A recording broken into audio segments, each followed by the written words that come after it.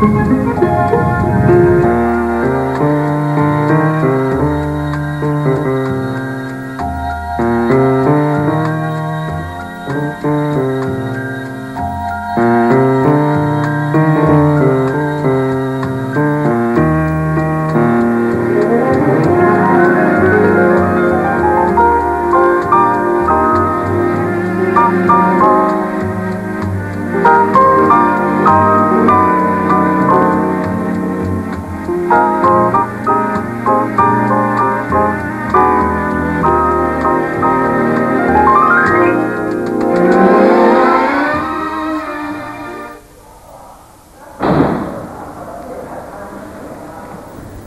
wygląda sytuacja na rynku pracy?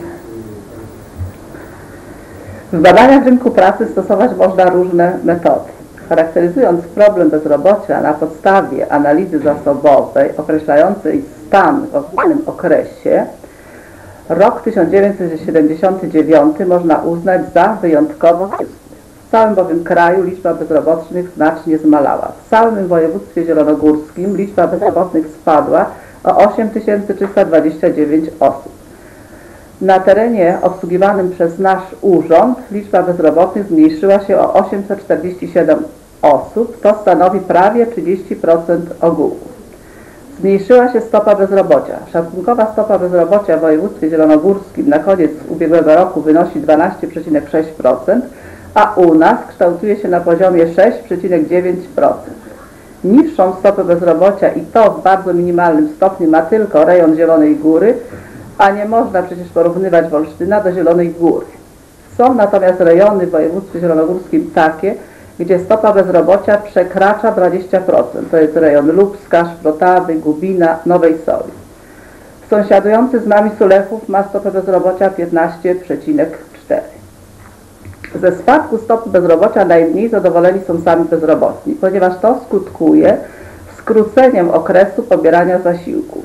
Od ubiegłego roku zasiłek u nas wypłaca się tylko przez 6 miesięcy, a w pozostałych rejonach województwa przez 12 miesięcy. Tylko w Zielonej Górze jest też 6 i w Świebodzinie, bo rejon Świebodzina ma zbliżoną stopę bezrobocia do nas. W roku 79 również znacznie zmniejszyła się liczba zasiłkobiorców.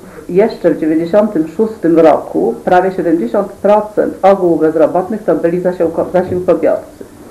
A na koniec roku ubiegłego prawo do zasiłku ma już tylko 33% ogółu bezrobotnych. Reszta pozostaje bez świadczeń finansowych. Co jest powodem ograniczenia liczby zasiłkobiorców? Główną tego przyczyną jest nowelizacja ustawy o zatrudnieniu i bezrobociu, która wydłużyła okres, jaki jest potrzebny do uzyskania prawa do zasiłku. Kiedyś wystarczyło przepracowanie pół roku, obecnie trzeba przepracować rok. Zmniejszenie bezrobocia nastąpiło w każdej gminie, którą obsługujemy. Patrząc na bezrobocie z drugiej strony, analizując ruch bezrobotnych, to znaczy z jednej strony, biorąc pod uwagę tych, którzy do nas przyszli, z drugiej strony osoby, które wykreśliliśmy, sytuacja już wygląda nieco inaczej.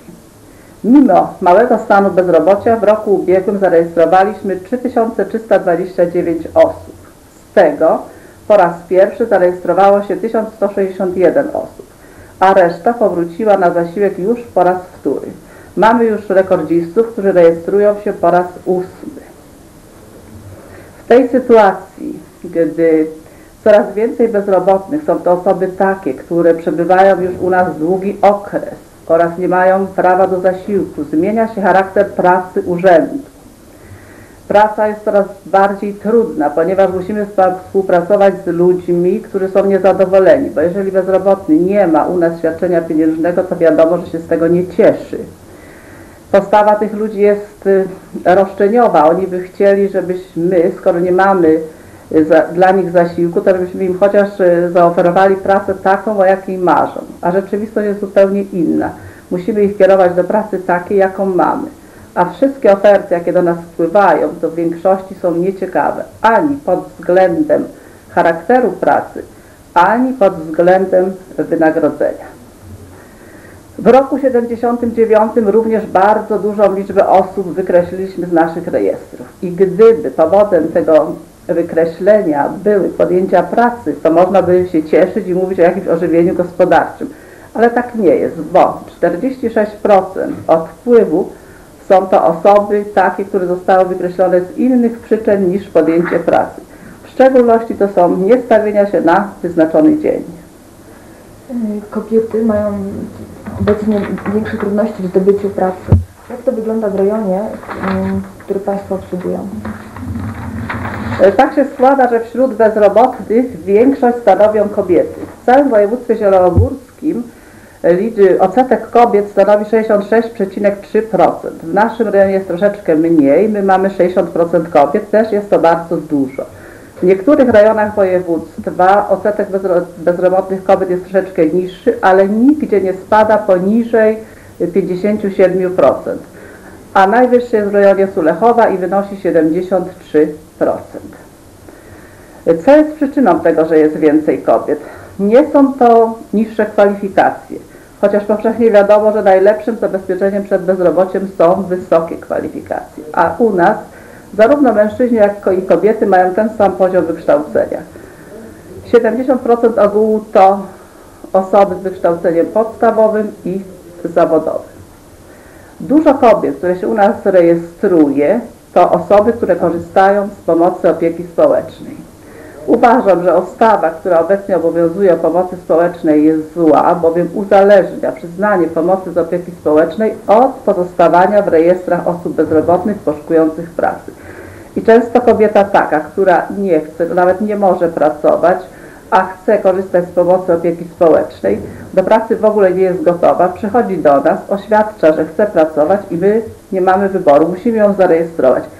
I aby taką kobietę wykreślić z rejestru, to musimy jej zaoferować dwie oferty pracy kolejne, a to nie jest takie proste. A nawet jeżeli kogoś wykreślimy, to i tak ma prawo powrotu do nas po trzech miesiącach. Niemniej problem kobiet występuje i w całym województwie są teraz opracowywane programy specjalne dla zatrudnienia kobiet. My jesteśmy w trakcie opracowywania programu. Szukamy zakładów, które za dofinansowanie z Funduszu Pracy stworzą miejsca pracy dla kobiet.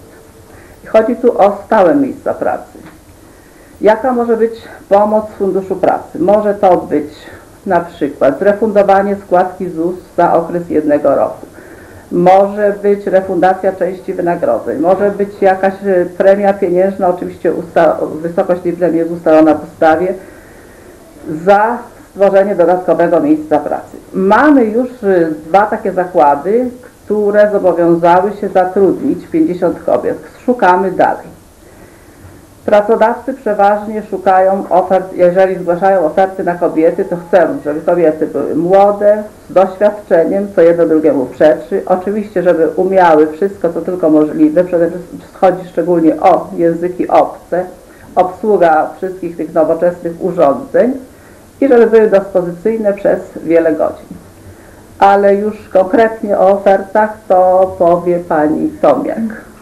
Tak, a na co mogą liczyć bezrobotni zarejestrowani w urzędzie? E, Chciałabym zacząć od, tego, że e, Urząd Pracy kieruje na takie oferty pracy, jakie w danej chwili e, uzyskuje, jakie posiada. I w roku 97 e, Urząd uzyskał 1781 ofert pracy, z tego 1607 ofert były to oferty na stanowiska robotnicze, no a tylko 174 oferty były to oferty na stanowiska nierobotnicze. Dla kobiet w całym 97 roku y, zgłoszono 795 ofert pracy. Najczęściej powtarzające się zawody to w kolejności y, ilości, jakie zgłoszone są u nas oferty, sprzedawca, było to 130 ofert pracy, murarz 63 oferty pracy, y, ślusarz 55, mm, krawiec 47 ofert pracy, szwaczka 41, kucharz 20. Y, W celu lepszego, lepszego skojarzenia y, oczekiwań pracodawcy z przyszłym pracownikiem y, Urząd Pracy zorgan- e, zorganizował 41 giełd pracy, na których to pracodawca sam mógł sobie wybrać pracownika spośród bezrobotnych zarejestrowanych w naszym urzędzie. Rejonowy Urząd Pracy jest inicjatorem i organizatorem wielu form e, ograniczających skalę bezrobocia. Y, Liczba ofert pracy, liczba ofert, e, przepraszam, liczba e, osób objętych aktywnymi formami z roku na rok zwiększa się. W roku ubiegłym poszczególnymi formami objęto 1194 osoby i wydano na ten cel 1 756 tysięcy złotych. W programie prac interwencyjnych uczestniczyło e, 356 osób, robót publicznych 270 osób, umowy absolwenckie i staże to 413 osób e, oraz utworzono e, 41 miejsc pracy w ramach pożyczek udzielanych bezrobotnym i pracodawcom. Dodatkowo jeszcze e, 114 osób objęto szkoleniami. Przeciętny koszt refundacji na poszczególnych, w poszczególnych formach wynosił na pracach interwencyjnych 203 zł, roboty publiczne 200, 370 zł, umowy absolwenckie 240 zł, staże 180 zł. E, W roku bieżącym kwota środków przyznanych na aktywne formy łagodzenia e, skutków bezrobocia jest nieco niższa niż w roku ubiegłym. Mam jednak nadzieję, że mm, kwota ta zwiększy się w przeciągu bieżącego roku.